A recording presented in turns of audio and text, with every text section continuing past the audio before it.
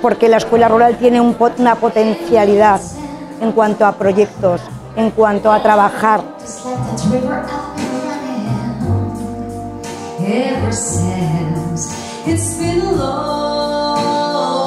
Somos referentes en planes tales como la inclusión educativa, el tutoría entre iguales, que precisamente una de las ponencias de hoy va a tratar sobre este plan.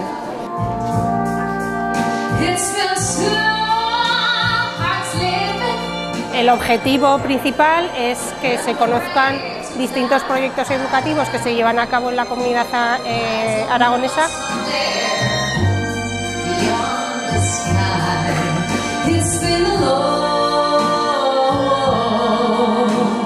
Es muy interesante eh, recibir las propuestas innovadoras eh, desde la parte de la academia hacia la parte de la, escuela y también a la inversa.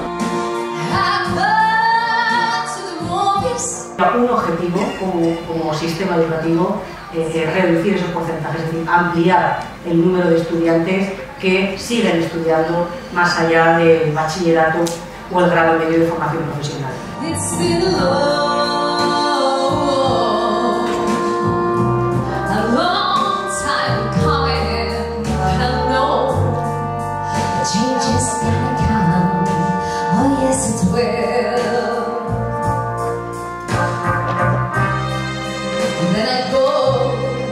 El mundo rural eh, es un mundo quizá muy olvidado, pero solamente necesario porque es el paradigma del buen trabajo en la educación.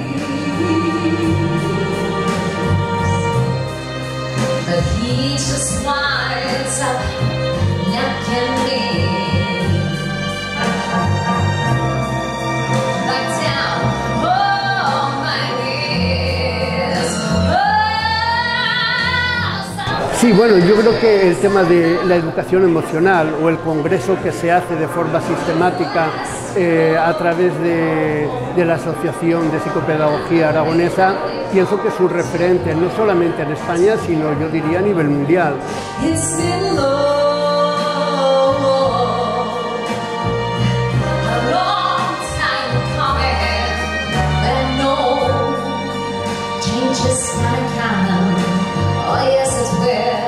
Porque nuestra visión es la de impulsar el desarrollo del territorio y de las personas que conforman el territorio y sin la educación no sería posible.